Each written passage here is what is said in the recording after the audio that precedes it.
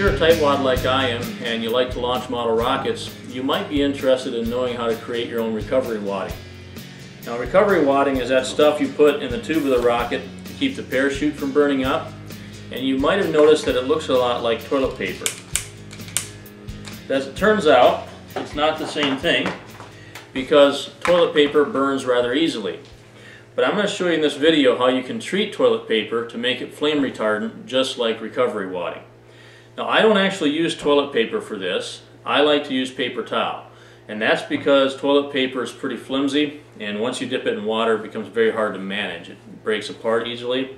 So in my opinion this is the better thing to use even though toilet paper will work if you can work with it if, if the toilet paper you have is tough enough to hold up. Now first thing you need to do is take a little baking soda and to dissolve it in water. Now what you want to do is dissolve as much baking soda in the water as you can. Okay? You want to dissolve it until you can no longer dissolve anymore. Now what that means is you have to um, put a little bit in there and stir it up. Wait to see if it settles to the bottom. If none settles, then go ahead and put more in there. Stir it up in the water so there's none on the bottom. And then wait till it settles. Once you have a little bit settled to the bottom and it's no longer completely dissolving, at that point then you have as much dissolved as possible and you're ready to go on to the next step. Now for the next step, all you're going to do is take a piece of paper towel and completely saturate it in water.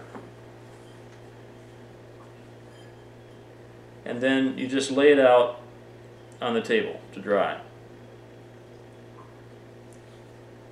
And you just do this as many sheets as you have water for.